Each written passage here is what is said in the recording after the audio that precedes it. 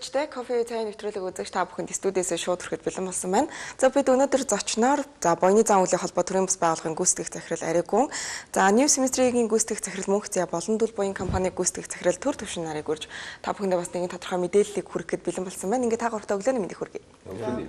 За та бүхний ажил үйлс өндрөө За дэлгэр сайхан байна. За тэгээ юуны төрөнд бас бас бид бүхний тайлагдчихгүй тэр одоо буруу ойлголттой мэдээ мэдээллийг зөвөр засах. За мөн өөрсөндөө холбоотой нэг өдрийн тухай бас ярилцахаар өнөө өглөө бидтэй хамт эхэлж байгаад маш баярлалаа.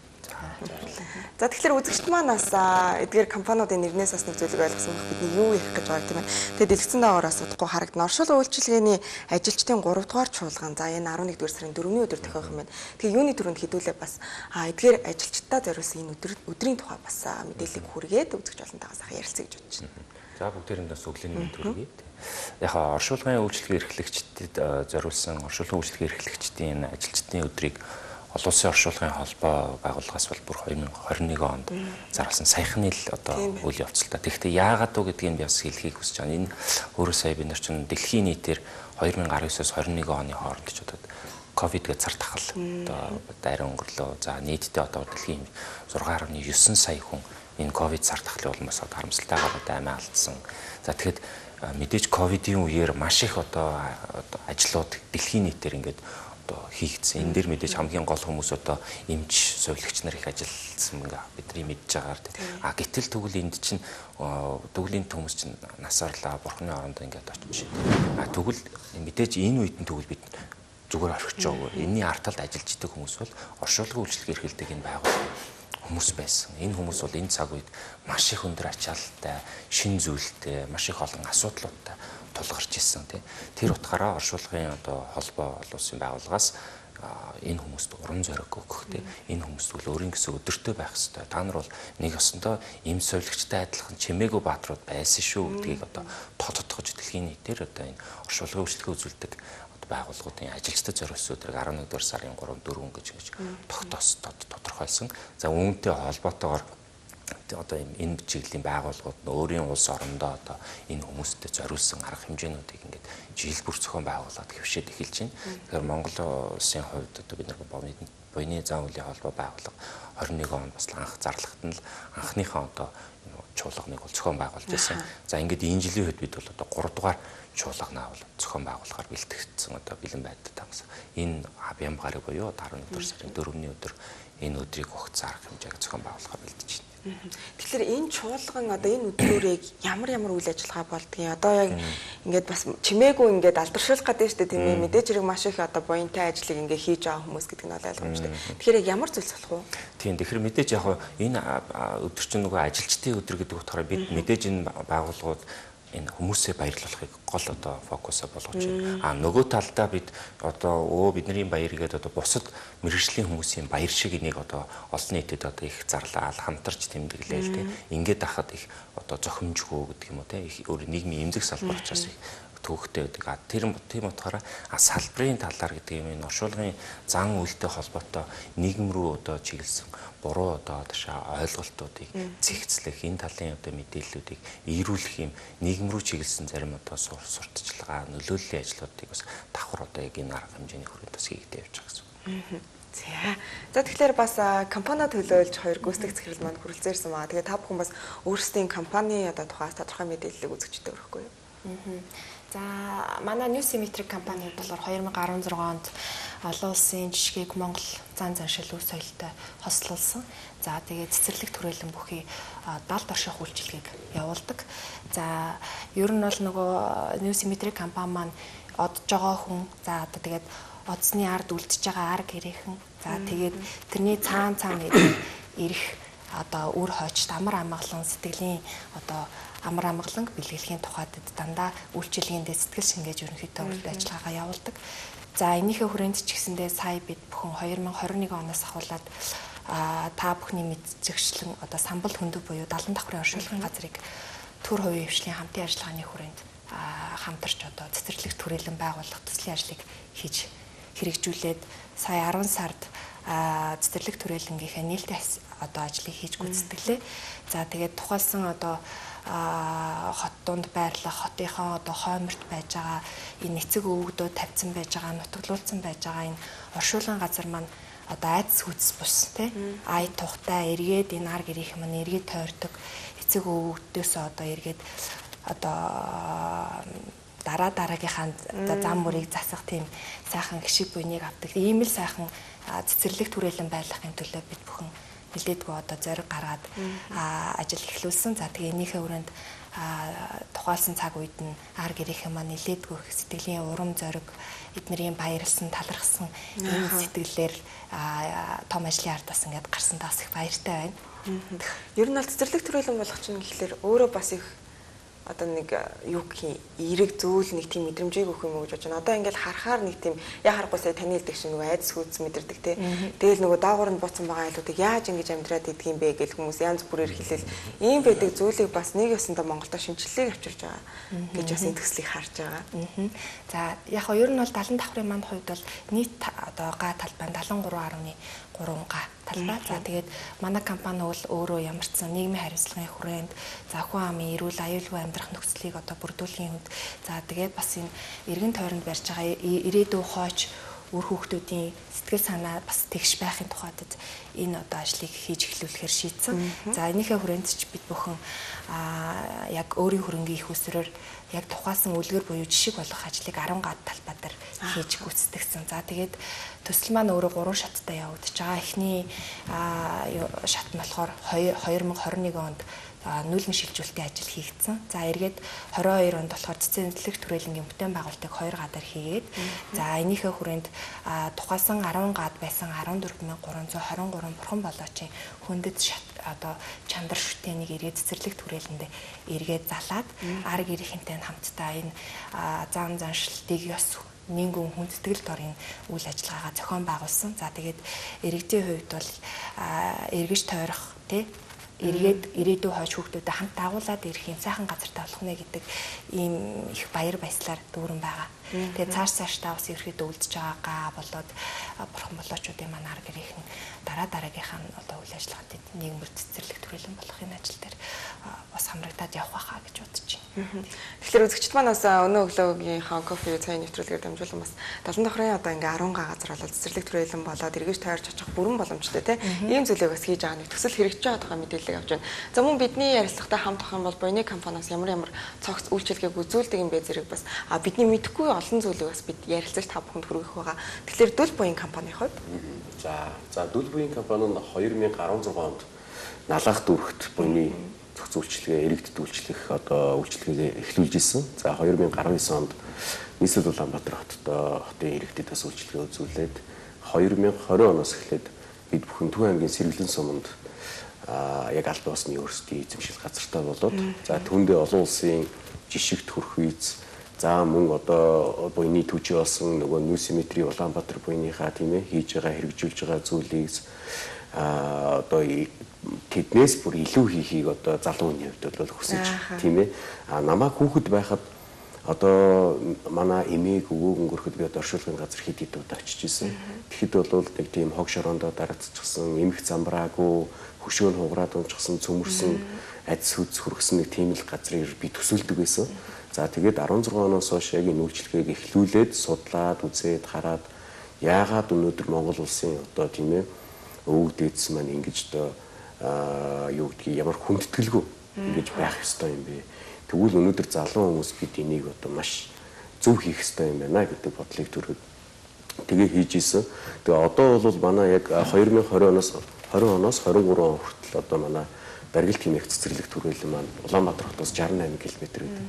Тэнд бол бид нэр маш одоо их ногоон байгууламж модондоо анхаарсан. За мөн оршуулгын газар гэхээр яагаад заавал харанхуй байх ёстой юм гэдэг үүднээс бид бүхэн маш их гэрэлтүүлгүүдийг тавьчихсан. Тэгвэл нарны зайгаар буюу эко юугаар. За ингээд ерөөхдөө одоо бид дүүл буян компани маань үүсгэн байгуулагдсанаас хойш одоо 5 жил гаруй хугацааг өнгөрөөж байна. Тийм тэгээ энэ хугацаанд бол бид бүхэн ямар ч хэлсэн цэцэрлэг түрээлэнгээ бол амжилттай ингээд аваад явж байна. Өшөөч цаашаага маш их зүйлийг хийх болно. Яг нөгөө гадны кинон дээр одоо дөрүүд маань одоо нөгөө нэг одоо нас барсан ойр татнахнагаа эргэж очиход нь тэр нь ингээ ялч цэцэрлэг төрөлн байгаа гэхдээ дандаа өвс нөгөө ургамал модтой те.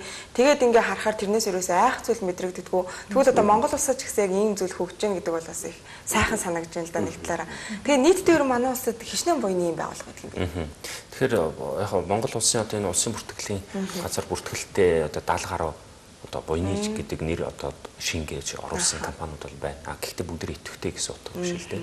А Улаанбаатар хотод бол зөвхөн 40 орчим энэ одоо Улаанбаатар хотын бүртгэлтэй юм компаниуд харагдаж байгаа. Гэхдээ эндээс тун идэвхтэй явуулж байгаа нь бол нэг 20 орчим л байж тийм. Тэгээ 20 20-доо гэхдээ бүгд одоо буйны цогц үйлчлэг үзүүлээд байгаа хэрэг биш. Ер нь одоо буйны яг цогц үйлчлэгийг үзүүлж байгаа нь бол үндсэндээ баг 10-ын дотор тий 6 7 8 компани үндсэн цогц үйлчлэг үзүүлж байгаа. Босод байгууллагуудын хувьд бол дандаа туслах үйлчлэгийг нөөцөлдөг тий хайрцаг хүч чулууг хийн хийж өгдөг, нийлүүлдэг гэдэг юм уу тий.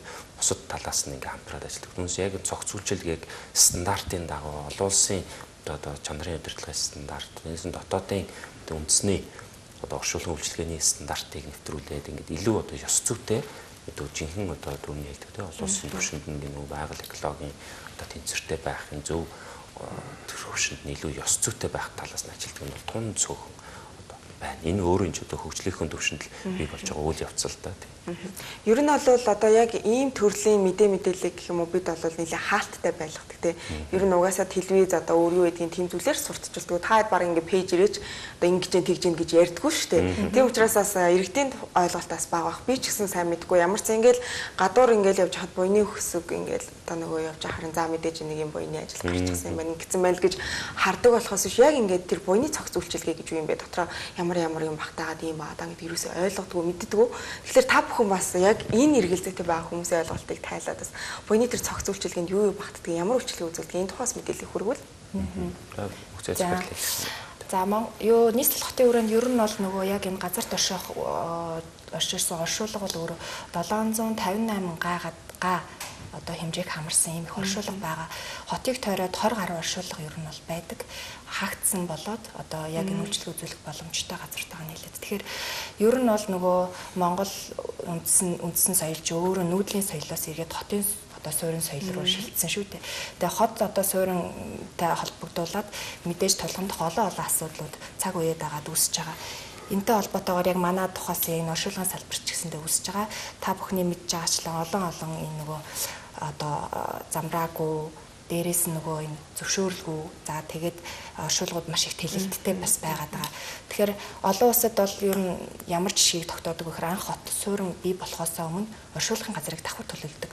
Газрыг ямар хуу зохион байгуулалтаар хийх вэ гэдгийг олон улсаас нь өөрсдөө дандаа хууль болоод эрх зүйн баримт бичигтэн тусгадаг. За тэгээд энэнийхээ хүрээнд гол зураг төслийн дагуу тэр ногоон байгууламж бүтээн байгуулалт тэгээд тэр тухайлсан яг бурхан болоочийн дурсгал дурсамжийнх нь одоо юмыг бүтээх тал руу чиглэл рүү соёлын өв болгож дээдгүү одоо ингэж авч хадгалахыг одоо хичээдэг. За дээрэс нь олон улсад бас зарим жишийг аваад үзэх юм бол баг музей хэлбэрээр хүртэл энэ оршуулгынхаа газрыг зохион байгуулсан ийм зүйлүүд хүртэл байдаг. Олон улсын алдартай нэртэй түүхийн одоо тийм том хүмүүсүүдийг ч гэсэндээ эргээд баг сургуулиудын хүүхдүүдэд тэр хичээл ороход нь хүртэл тийм хэмжээний тогтой тухтай орчнуудыг одоо бүрдүүлсэн тэм цэцэрлэг төрөлнгүүд байдаг. За тэгээд Монгол улсын хэмжээнд бол буйны зан үеийн холбоо маань бас 2012 оноос олон улсын оршуулгын холбоотуудад нийлж одоо ингээд гишүүн болж илсэн. Энийхээ хүрээнд ч гэсэндээ олон улсын стандарт за тэгээ Монгол улсын яг энэ оршуулгад баримтлах стандарт дэг журмуудыг баримталж одоо бас нэлээдгүй хурдтай бас уул нь бол бас хөгжиж байгаа ийм салбар болов гэж миний хувьд бол хардаг. За тэгээд Оршуулгын ер нь бол үйл ажиллагаа маань чандарлах болоод далд оршуулах гэдэг ерөнхийдөө үндсэн хэлбэр бол дийлэнхтэй ер нь бол тогтсож байгаа. За хөдөө орон нутгуудад бас өөр өөр бас ёс заншил дээгүүд бас байна. За тэгээд энийхээ хүрээнд бол нийслэл хотыг одоо тойроод ерөнхийдөө үйл ажиллагаа түрүү ариун захирлын маань хэлсэн хороод байгууллагуудынхаа маань яг үндсэн чиглэл үйл ажиллагаа явуулж байгаа компаниуд бол далд орших одоо ихийг дийлэнхтэй хийж байна. За Чандарлан орших одоо үйлчлэгээ Улаанбаатар буян гэсэн компани маань ингээд хийж байгаа зүйл байгаад байгаа.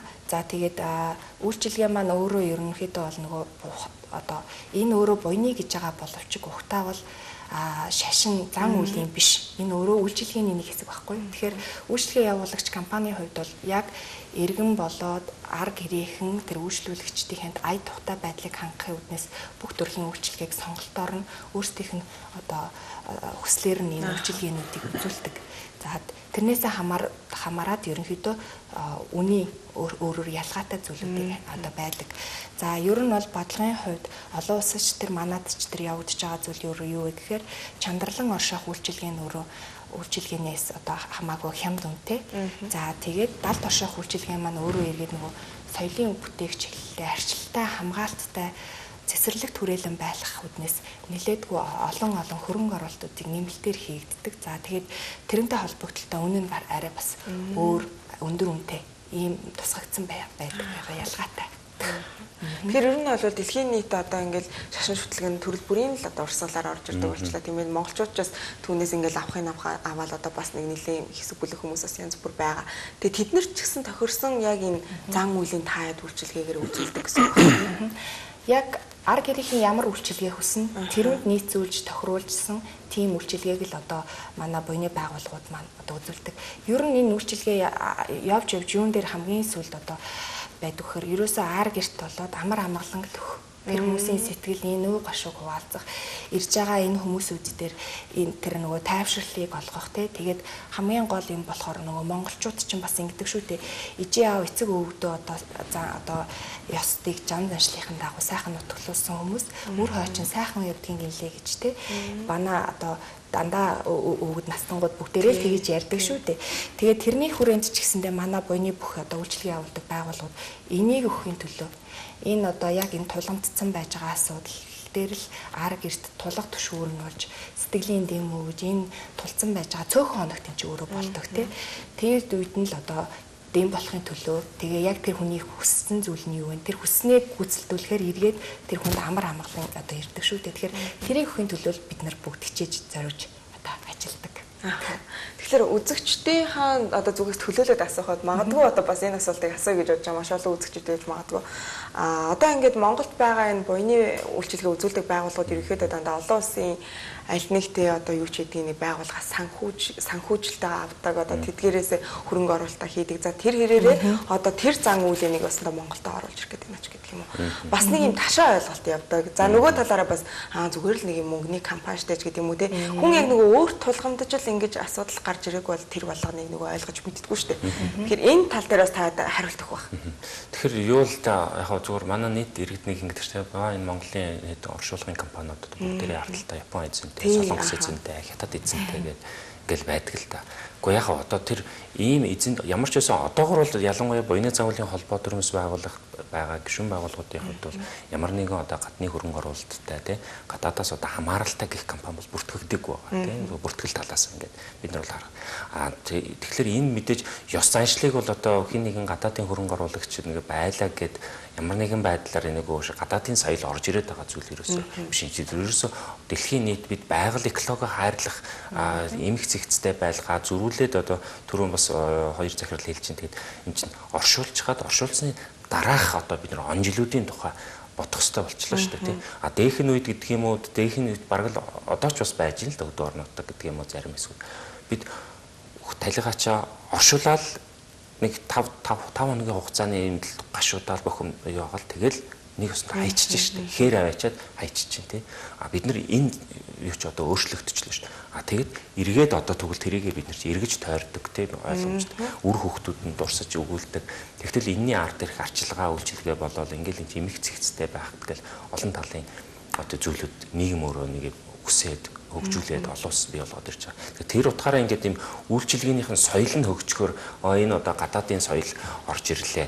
Бид нар заавал юм эмх цэгцтэй байх ёсгүй гэх гэдэг нь шүү дээ, тий. Бид зүгээр хуучин одоо энэ далан давхар шиг нарангийн ингэр шигээл бид нар одоо өвгдөө очиод бараг л ингээд хайчи, тий. Энэ л одоо жинхэнэ Монгол ёс юм аа тэр гэх гэдэг. Тийм биш юм шүү. Тэгэхээр энэ бол өөрөө зөв үйлчилгээний хөгжлийн л одоо хэлбэр хөгжлийг хараад гадны одоо соёл орж ирж байна гэж бас би иргэдийг бас бити хараарай гэж хүсэж байгаа. Тэгэхээр энэ бол ямар нэгэн одоо тийм буруу тушаа ойлголтоо гэдгийг бас нийт бас үзэгчд бас хэлэх Тэгэхээр сошиалор бас нэлээд шуурга дигдэг гэсэн нэг асуудал байгаа шүү дээ. Одоо гэртээ ганцаараа байгаад ч юм уу эсвэл ингээ гэртээ одоо нас орчихсан хүмүүсийг буйны компани зөвгөл аваа явчихдаг ч юм уу тий. За 103-ны яагаад авч явдгүй буйны компани руу шууд 103 өөрөө шилжүүлчихдэг ч гэдэг юм уу. Ийм асуудал бас яригдсан. Ер нь ингээ хараад үзэхээр маш олон хүмүүс нөгөө сайн нарахаас илүүтэй дандаа мууг нь хардаг болчихлоо шүү дээ одоо цаг үед. Тэгээ энэ л дээр бас тайлбар өгөх бах тий. За яг уу нийслэл Улаанбаатар хотод одоо 75-аас дээш эрүүл мэндийн сайд, хууль зүйн амны сайдын хамтарсан тушаал байна л да. 75-аас дээш оншин тодорхой бол одоо заавал задлан шинжилгээ хийх шаардлагагүй шууд одоо талигач моргт нь хийгээд хөдөлгөх үйл явцны явагддаг. А тэрнээс доош настай буюу оншин тодорхой бос байж гад өнгөрсөн бол заавал одоо цагдаа буюу шүүх хэмлэг авч чадна. А тэгэхээр 75-аас дээшгээ хорт авдраарч гэдэг юм оншин тодорхой хүмүүс гэртээ бурхан болсон тохиолдолд 103 болон цагдаа ирж авч байгаа 103 бол ирээд зөвхөн нас орсныг тодорхойлоод явж байгаа. А нийслэлийн дөрвөн тусламж чинь өөрөө яаралтай дөрвөн тусламжийг үзүүлдэг учраас дараагийнхаа дуудлага руу яарад явцдаг. А гэмтрийн шинжтэй биш учраас цагдаа бас авах шаардлагагүй. А ингээд ирэхээр иргэд маань өөрсдөө тээвэрлэх за дээрэс нь одоо нэг моргийн асуудал маань тулгардаг. А энийг бол манай буйны салбарын бол одоо бас иргэдэд тулгамдж байгаа асуудлыг олж хараад тэгээ бид бүхэн одоо өөрсдөө мор одоо одоо улсын моргуудтай гэрээ байгуулах, хамтарч ажиллах засаж тохижуулах тэр хөрөгч салгаас гүйцэтгэх танхим дээр нь анхаарал хандуулад за тэгээд ерөнхийдөө нөгөө сошиал юугаараа бол одоо мэдээ мэдээллийг өгөөд мөн лавлах утас интернетийг өгөөд за ингэж явчих. Тэгээ сайн яжгаар сар гихчээр одоо нөгөө 103 инженертэй холбогдох тэндээс дуудлага мэдээллийг авах гэдэг асуудлууд бол сошиал руу явсан. Тэгтээ бол тухайн асуудал маань авилгатай тэмцэх газраас шалгахтаад бол одоо байсан. Одоо бол иргэд маань яг оншин тодорхой 75-аас дээшээгээ настай өндөр настай тийм ээ хүмүүс маань бол одоо манай буйны компаниудын аль нь ч дуудаад орохт нь хөргүүлээд ингэж явах боломжтой байж байгаа. За манай дөл буйны хувьд бол а одоо улсын гимтлийн гимтэл цагаан үндэсний төв за мөн зөв талтай бол госпиталь гэх тэмдэг өгдөг шүү дээ.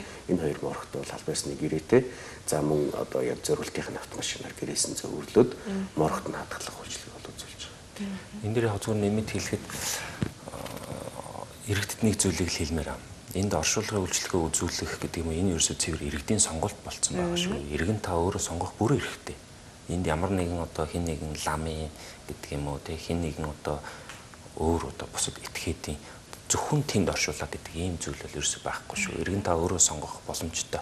Тэгэхээр одоо хаана ямар үйлчилгээ сонгох боломж байна те таны талигаач одоо тэр шинжээнийгээд ямар одоо зүг чигний яаж гарч байгаа одоо бүх дэгц ёсон ямар гарч байгаа гэдгээс хамаарат иргэн та өөрөө сонгох боломжтой шүү. Тэгэхээр энэ хин нэгэнд одоо хэлж байгаа зүйл бити автаарай тий а магадгүй одоо ашиг сонирхлын санаагаар тий арай өөр буруу буйны биш сэтгэлээр ингэж хандж байгаа зүйлүүд нийгэмд байна гэж сайн хажуурсаар байна.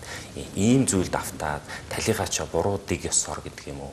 Эсвэл одоо ямар ч хариуцлагагүй байгуулгаар одоо оршуулах хөгжлөгийг хийлэгчгээд а эргээд энэний ард дээр нөгөө буух үзэн буцах хаяггүй тий талигаач оршуулсан бол болоо гэдээ ингээ хайчсан чинь маргаашаас нэхлээд тэр таны талигаачин шаардлыг арчилж хамгаалахгүй, хайрлахгүй тий ийм хэмжээний болчдөг. Тэр нь магадгүй тэр нь төд дутлаггүй 5 10 жилийн дараа сүйдчихдэг эсвэл одоо тоногдох ямар ч одоо харуул хамгаалт байхгүй ч байдаг юм тий. Ийм одоо сөрөг зүйлүүдийг одоо бий болж байгаа одоо мерсер байна л да олон биш мэдээж дээ. Тэгэхээр ийм зүйл бити автаасаа энэ оршуулгын үйлчлэгээ үзүүлж байгаа гэдэг энэ компаниудыг илүү одоо стандартын үйлчлэгээ үзүүлж байгаа нь хин юм бэ?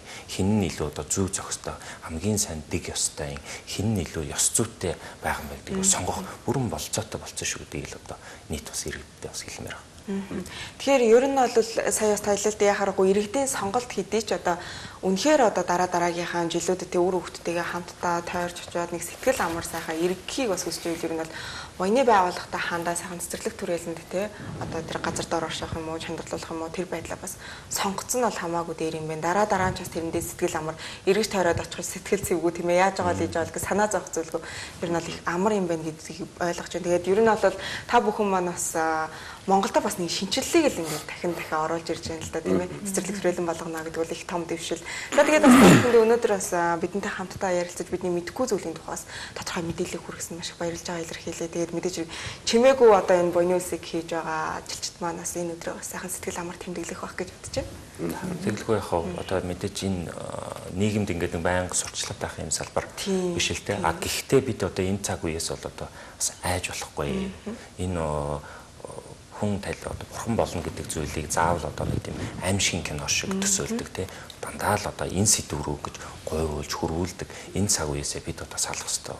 Ялангуяа одоо бидний нэрлдэг одоо зэт үеих ингэж ярьж байгаа залуу үеийнхэн шал өөр хардаг болсон байна шүү дээ. Одоо юу одоо байгальд одоо ингэж өөрсдийгөө одоо газар чөшөө чулуу одоо тэр хөшөө гэдэг чинь чулуу гэдэг чинь өөрөө байгалийн борчин чулуу шүү дээ. Энэ хэдэн 10 мянган одоо хөшөө чулуунд ямар их хэмжээний байгаль сүйдэж тэр чулуу гарч ийн. Тэр одоо жил болгон одоо нэг талыг ачаас ахвалал одоо энэ олон мянган талиас насаар маш олон гаа газар талбай ингээд одоо ашиглагдаж байна. Энэ утгаараа ингээд энэ чинь байгаль эколог болохгүй шүү дээ. Хөөе. Энийг болиод бид нар тэгвэл нэг өөр байгаль эколог чигээс тэгвэл чандралдаг байг. Залуучууд шал өөрөөр хардаг болчих. Дээрээс нь энэ одоо зүйлээс айж цэрвэд авах бол биш юм. Энэ чинь жамсны зүйл шүү дээ. Бид одоо хүн төрөхөд одоо баяр байхталтайгаар нухтдаг. А мэдээж хүнээ алдж байгаа учраас уй гашуу байлгүй яг. Гэхдээ энэ жам ёсны зүйл шүү дээ гэдгийг энэ залуучууд шал өөрөөр хардаг болчихжээ. Тэгэхээр энийг л нийгэмд одоо бид зөвөр эргээр мэдээж үе шатгаар ингээд түгэх хэрэгтэй гэж харж тийм. За тэгээд тагварт маш их баярлалаа ажил нэмжилт төсөө. Баярлалаа. За ингээд үзэгчдээ өнөөдөр маань кофе цай нэвтрүүлэгт буйны зан үйлийн холбоо төрийн бас байгууллагын гүйцэтгэх захирал Аригүн, New Semester гүйцэтгэх захирал Мөнхзя, за дүүл буян компани гүйцэтгэх захирал төр төвшинээр оролцож та бүхэндээ оршуулгын за үйлчилгээний ажилчдын 3 дугаар чуулганы тухай болон оршуулгын зан үйл буйны үйлчилгээний тухай мэдээ мэдээлэл хүргэлээ. Магадгүй та бүхний мэдхгүй байсан одоо тэр зүйлийг бас тайлагдаж та бүхэн бас тодорхой мэдээлэлтэй болсон баг гэдэгт итгэлтэй байна. За үргэлжлүүлэн кофе цай нэвтрүүлгээ хүлээвч үзээрэй.